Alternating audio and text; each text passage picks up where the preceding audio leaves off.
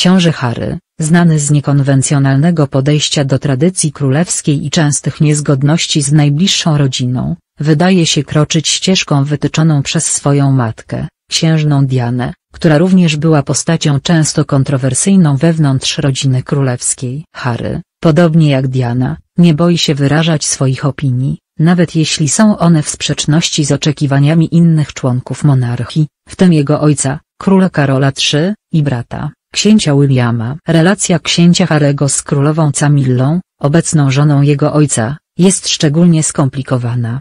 Źródła bliskie królewskiej rodzinie twierdzą, że książę Harry obwinia Camillę za rozpad małżeństwa swoich rodziców, księżnej Diany i księcia Karola. Harry nigdy nie zaakceptował Camilli jako macochy, co dodatkowo pogłębiało konflikty w rodzinie królewskiej. Książę Karol i Camilla poznali się w latach 70. i przez lata utrzymywali skomplikowaną relację, która przeszła przez różne fazy, od przyjaźni, przez miłosne zaangażowanie, aż po ostateczne małżeństwo w 2005 roku. Ich związek przez długi czas był tematem kontrowersji, nie tylko dla opinii publicznej, ale także dla członków rodziny królewskiej, włączając w to królową Elżbietę II. Podczas ostatniej wizyty w Wielkiej Brytanii, według relacji Petronelli Weat, dziennikarki i przyjaciółki królowej, książę Harry unikał bezpośrednich spotkań z Camillą. Harry nie chciał być w jednym z pokoju z macochą. Rozmowę z ojcem na temat zdiagnozowania raka wolał odbyć w samotności, przyznała Weat.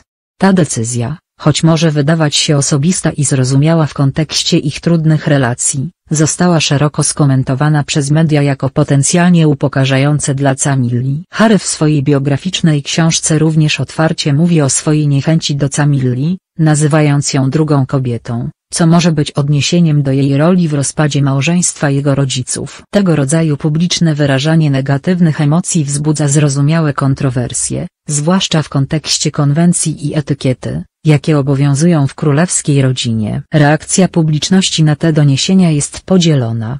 Niektórzy sympatyzują z Harem, rozumiejąc głębokie emocjonalne rany, jakie nosi w związku z historią swojej rodziny.